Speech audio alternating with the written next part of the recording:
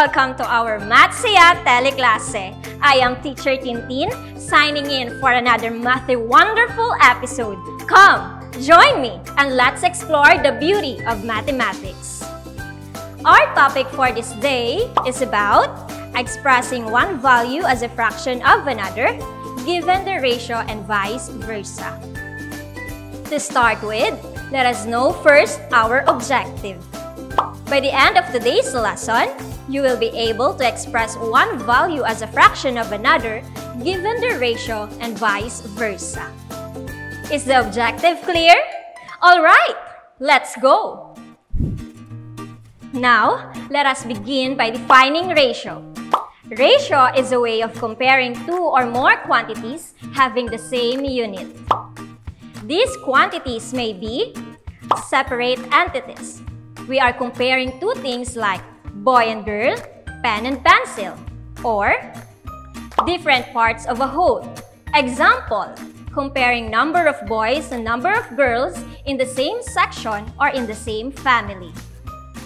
Note, the order of the terms in a ratio must correspond to order of object being compared. To better understand this statement, here is an example. Example number one. Compare the number of balls to the number of rackets and vice versa. The number of balls should be counted first before the number of rackets since the ball were written first in the given comparison. Now, let us count the number of balls, then the number of rackets. There are three ways on how to write ratio. Number one, colon form. Number two, fraction form. Number 3, word form. Using the first example, we will compare the number of balls and number of rackets using the three ways on writing ratio. How many balls do we have? We have 8 balls. How about the rackets? We have 5. In colon form, we will use the colon or tutuldok to separate the two quantities. 8 is to 5. While in fraction form, we will use the fraction bar wherein the first quantity be the numerator and the second quantity be the denominator. And in word form, we will use the words is to in separating the quantities. 8 is to 5. In the first example, we encountered the phrase vice versa, which means we will write the ratio the other way around. For colon form, 8 is to 5 will become 5 is to 8 since we counted first the rackets over the balls. For fraction form, 8 fifths will become 5 eighths. And for the word form, 8 is to 5 will be 5 is to 8. Is that clear? Great! Example number 2 express the ratio of 5 to 25 centavo coins to 2 peso coins in fraction form. As we can see, the given quantities have different units. One is in centavo and the other one is in peso. In order for us to express the ratio, we need the quantities to be of the same unit by converting one of them. In this case, we will convert peso into centavo. We'll know that in a peso, we have 4 25 centavos. Therefore, in 2 pesos, we have 8 25 centavos. Since we already have the same unit, we can proceed now in expressing the ratio. Based from the given, we need to express the ratio using fraction form. What would be our numerator? Right, it is 5. How about our denominator? Correct, it is 8. Therefore, the answer is 5 eighths. Did you get it? Good! Example number 3 express 6 days as a fraction of 2 weeks.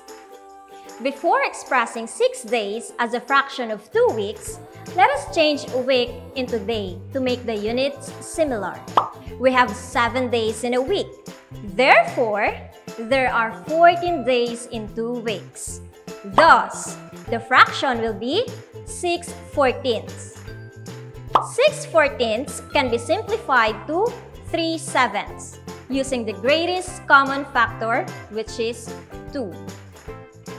Let us practice your understanding by answering the items placed in the boxes. I will give you 20 seconds for each item. Box 1 question. Write 40 minutes as a fraction of 2 hours.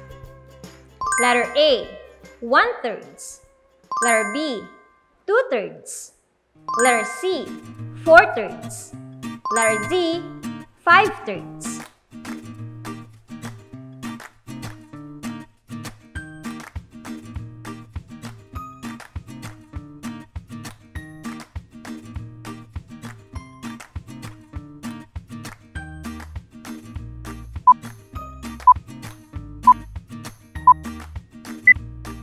The correct answer is 40 over 120 or 1 thirds.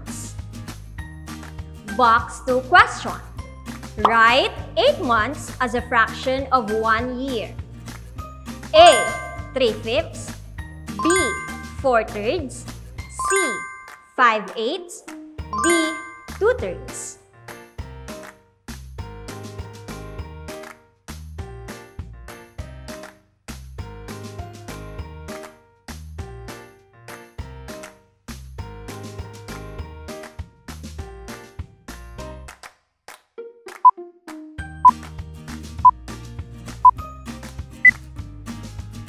The correct answer is 8 over 12 or 2 thirds. Box 3 question. There are 16 apple trees and 6 mango trees in Mang Cardos farm. What is the ratio of mango to apple trees? A. 3 sevenths B. 2 ninths C. 3 eighths D. 3 tenths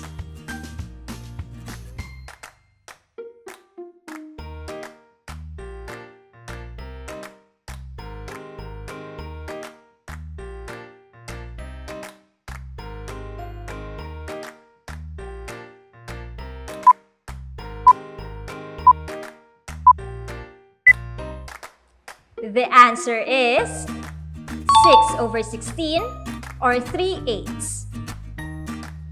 Box 4 question. There are 10 buses at a station. If each bus has 6 wheels, what is the ratio of buses to wheels? A. 1 6 B. 1 8 C. 3 10 D. 4 15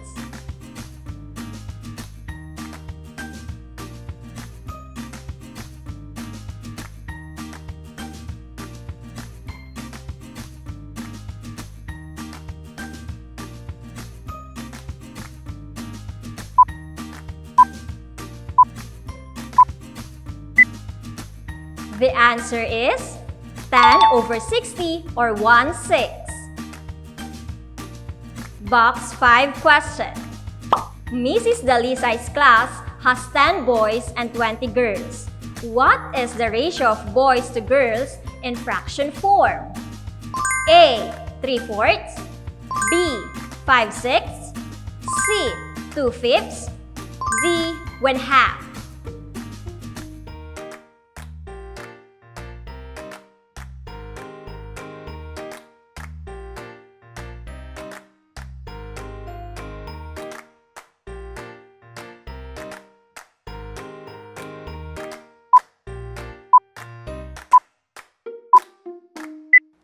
The answer is 10 over 20 or 1 half.